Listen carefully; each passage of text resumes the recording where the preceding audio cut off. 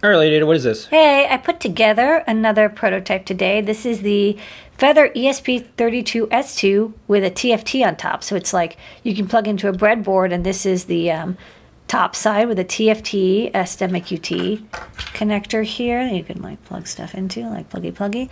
Battery, uh, the boot and reset buttons, uh, USB, NeoPixel, and LEDs. And on the bottom is where you see the ESP32S2 Mini. Um, NR4. Basically, it's got built-in four megabytes of flash, two megabytes of PS RAM.